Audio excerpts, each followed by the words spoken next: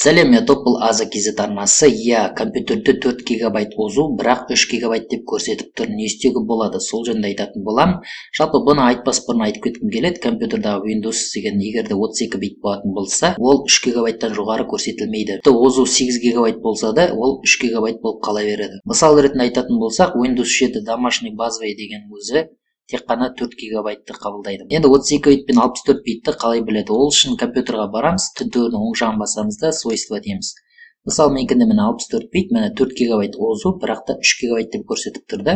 Яғни осыны қалай өзгертеді? Ол үшін екі әдісті жасау керек бірінші биос арқылы бірақ та бұл әдісті көрсету үшін видеокамера керек дегенмен менде жоқ екінші әдісті көрсетейін. Ол үшін ең алдымен жұмыс үстелінде тұрамыз да тінтуірдің оң жағын басамыз. Оң жағын басқаннан кейін персонализация сосын мына жерде панель управления дегенді шығарып аламыз. Яғни мына жерде изменение значков дегенге барамыз сосын панель управления дегенге галочка саламыз. Соны салғаннан кейін панель управления шықты енді соны басамыз. Соны басқаннан кейін. Соны басқаннан кейін мынаны басамыз. Соны басқаннан кейін мына жерде конфигурация система деген болады. Соны басамыз. Сосын загрузка. Загрузка деген дополнительно мына жерде мынаны алып тастаймыз. Сосын окейді басамыз.